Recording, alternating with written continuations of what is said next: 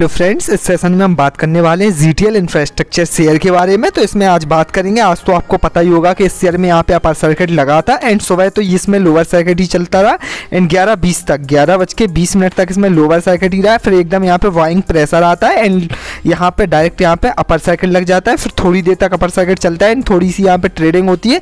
Then फिर इसमें upper circuit यहाँ पे पूरे दिन भर आज लगा रहता है। कल की वीडियो में भी मैंने आपको यहाँ पे बोला था कि इसमें अपर सर्किट अपर सर्किट का तो नहीं, लेकिन मैंने आपको बोला था कि यहाँ पे जो सेलिंग प्रेशर है, वो अच्छा खासा यहाँ पे कम ज़रूर देखने को मिला था। एंड अभी हम बात करते हैं इसकी लेटेस्ट न्यूज़ की। तो अभी हम आगे चलते हैं। उसके पहले आप वीडियो को यहाँ पे सब्सक्राइब कर लीजिए चैनल को सब्सक्राइब कर लीजिए वीडियो को लाइक ज़रूर कर दीजिए ओके एंड आज के दिन आप यहाँ पे ए सेशन में तो देख ही पा रहे होंगे कि एक यहाँ पे बाइंग बाइंग के लिए इतने सारे यहाँ पे ऑर्डर लगे हुए हैं। कितने ऑर्डर है यहाँ पे? क्वान्टिटी के बहत्तर लाख छिहत्तर हज़ार क्वान्टिटी के ऑर्डर दो रुपये दस पैसे पे यहाँ पे लगे हुए हैं ओके यदि बात करें हम इसकी टिकट टैप की इन्वेस्टमेंट चेकलिस्ट की बात करें तो एक इसमें अच्छी एंट्री जोन इसमें दिखाई जा रही है। इसमें बताया जा रहा है कि stock is not at overbought zone stock ये ये जो पर्टिकुलर शेयर है, ये कोई भी ओवरवॉट जोन में नहीं है।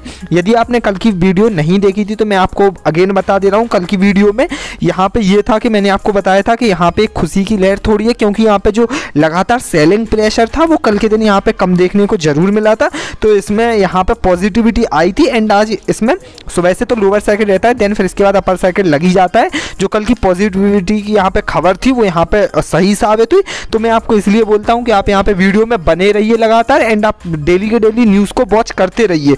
उसके लिए आपको यहाँ पे चैनल को सब्सक्राइब करके रखना है एंड वेल आइकन को यहाँ पे प्रेस करके रखना है, जिससे आपको latest update time to time मिलती रहेंगी। यदि हम इसके पी रेशियो की बात करें तो मैं अगेन आपको बता दे रहा हूँ कि कंपनी लॉस मेकिंग कंपनी है, क्योंकि यहाँ पे लगातार P ratio and P ratio यहाँ पे माइनस हो रहा है। एंड पी रेशियो की बात करें तो प्राइस टू अर्निंग रेशियो होता है प्राइस तो इसका यहाँ पे पॉजिटिव है बट यहाँ पे जो अर्निंग्स का यहाँ पे पोर्सन है वो नेगेटिव है इसीलिए यहाँ पे P ratio and PV ratio PV ratio again यहाँ पे प्राइस टू बुक रेशियो रहता है तो यहाँ पे प्राइस तो पॉजिटिव है बट इसका बुक रेशियो बुक वैल्यू इसकी नेगेटिव है तो दोनों यहाँ पे नेगेटिव में है क्योंकि इसकी जो करंट अर्निंग्स है या इसकी अर्निंग्स नहीं है वो लॉसी में है कंपनी तो अगेन यहाँ पे मैं आपको एक यहाँ पे चेतावनी ज़रूर देता हूँ P ratio and PV ratio यहाँ पे नेगेटिव है क्योंकि क्या है कि 2018 के इम्पैक्ट के बाद टेलीकॉम अधिकतर टेलीकॉम सर्किल की जो कंपनियाँ हैं, वो यहाँ पे रिकवर ही नहीं कर पाई। यदि आप पूरे सेक्टर का भी पी देखें तो वो यहाँ पे आपको नेगेटिव ही देखने को मिलेगा। इसलिए सारी अधिक से अधिक टेलीकॉम कंपनियों का यहाँ पे आपको पी नेगेटिव ही देखने को मिलता है ओके एंड अगेन हम यहाँ पे डिविडेंड डील की बात करें तो अधिकतर पैनी कंपनियाँ कोई भी डिविडेंड डील नहीं देती एंड सेक्टर की डिविडेंड डील बहुत कम है।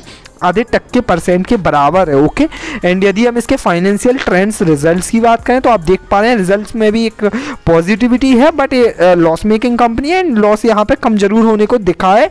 एंड अभी जो दिसंबर क्वार्टर का रिज़ल्ट आएगा, मैं उसको आपको ज़रूर अवेयर कराऊँगा। उसके पहले आप यहाँ पे चैनल को सब्सक्राइब करके रख लीजिए ओके यदि हम बात करेंगे इसमें लेटेस्ट न्यूज़ की नीचे बात करेंगे तो आपको पता ही होगा कि इसमें लगातार सेलिंग प्रेशर था। लगातार चार दिन की जो बिकवाली हुई थी, बड़ी बिकवाली आई ट्रस्टी के द्वारा, वो यहाँ पे कम ज़रूर देखने को मिली। ग्यारह तारीख को यहाँ पे कोई भी नहीं उसके पहले यहाँ पे चार दिन की यहाँ पे लगातार सेलिंग चली थी। वो चार दिन की मैं आपको यहाँ पे रिपोर्ट दिखा दे रहा हूँ।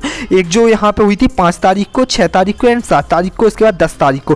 ह्यूज क्वांटिटी में सेलिंग हुई थी, जिसका डाटा आपको N S world deal session में मिल जाएगा। यदि फिर उसके बाद हम बात करें तो ग्यारह तारीख को यहाँ पर कोई भी सेलिंग नहीं हुई थी। सेलिंग प्रेशर कम हुआ था एंड मैंने आपको लगातार दो दिन ये रिपोर्ट ज़रूर बताई थी कि सेलिंग प्रेशर अब कम हुआ है एंड हो सकता है कि शेयर ये ट्रेडिंग में वापस लौटे या अपर सर्किट्स में आए। एंड अगेन आज के दिन वही हुआ है कि यहाँ पे शेयर जो है, I G T L infrastructure वो यहाँ पे ट्रेडिंग में भी लौटा है। एंड ट्रेडिंग के बाद फिर यहाँ पे लास्ट में अपर सर्किट्स पे भी रहा है। ओके एंड यदि और भी इसकी बात करें तो आप देख पा रहे होंगे कि एन बल्क डील के सेशन में यहाँ पे एक्सिस बैंक ने भी यहाँ पे सेल किए थे। ओरिएंटल ग्रीन पावर के शेयर तो उसमें भी अभी लगातार दो दिन से यहाँ पे लोअर सर्किट चल रहा है।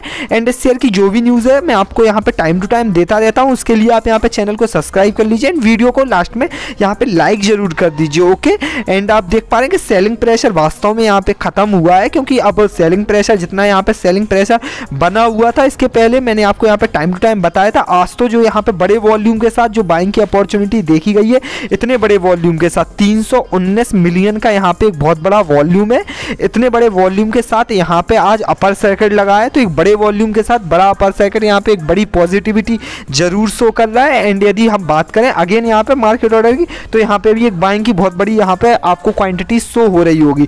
एंड काफ़ी सारी इसकी पॉजिटिविटी न्यूज़ हैं जो आई है बट यदि लोअर सर्किट हट गया है तो वैसे भी कोई दिक्कत की बात अब है ही नहीं है। आप लोगों की डेली के डेली यहाँ पे क्वायरी आ रही थी। कल ही एक ईशान श्रीवास्तव करके कोई है, उनने मुझे यहाँ बोला था कि फंस गए हम लोग, आपने सबको फंसा दिया है। तो ऐसा नहीं है, मैं किसी को रिकमेंडेशन नहीं करता हूँ कोई भी शेयर खरीदने या बेचने की।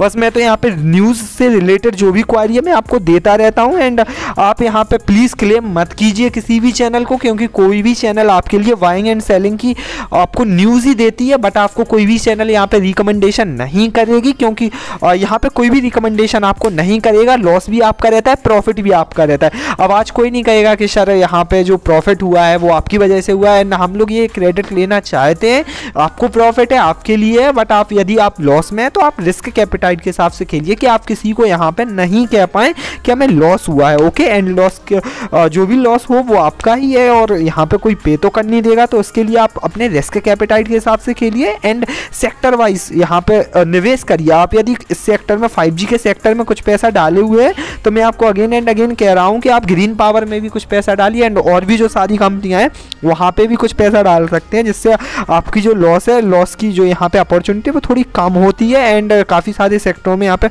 पैसा डालने से यही होता है कि जो लॉस यहाँ पे देखने को कम ही मिलता है ओके एंड यदि आप लास्ट तक वीडियो में तो आप यहाँ पे यहाँ पे लाइक ज़रूर कर दीजिए।